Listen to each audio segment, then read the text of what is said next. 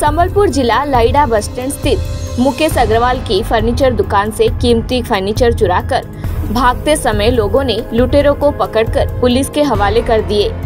कुल तीन में से दो लुटेरे फरार हो गए।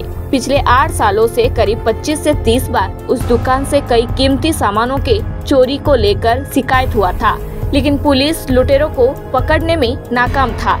गाँव के युवकों द्वारा पकड़े गए लुटेरे से थाने में पूछताछ करने के बाद पुलिस मंगलवार रात फरार दो लुटेरों को पकड़ने में सफलता हासिल किए हैं।